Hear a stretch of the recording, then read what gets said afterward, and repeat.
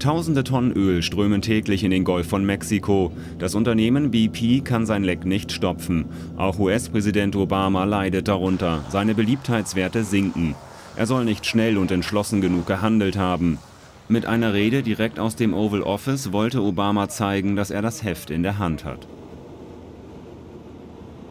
We will fight this wir werden dieses Leck bekämpfen, solange es nötig ist, und wir werden dafür sorgen, dass BP zahlt. Obama will, dass BP einen Treuhandfonds einrichtet. Von dem Desaster betroffene Arbeiter und Unternehmen sollen daraus entschädigt werden. Und Obama geht noch weiter, fordert eine Wende in der Energiepolitik.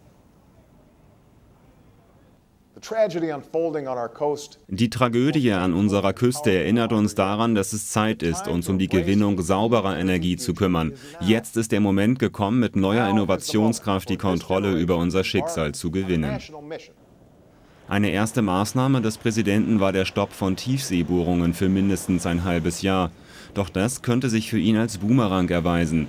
Wirtschaftsexperten befürchten nun einen globalen Anstieg des Ölpreises und damit der Benzinpreise. Den Amerikanern dürfte das nicht gefallen. Wir brauchen natürlich langfristig die Bohrungen in der Tiefsee, um international das Ölangebot aufrechtzuerhalten. Wir wissen, dass stark wachsende Volkswirtschaften deutlich eine Nachfragesteigerung haben werden, insbesondere China und Indien.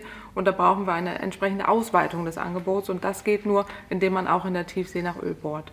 Auch die amerikanische Wirtschaft würde unter einem steigenden Ölpreis leiden.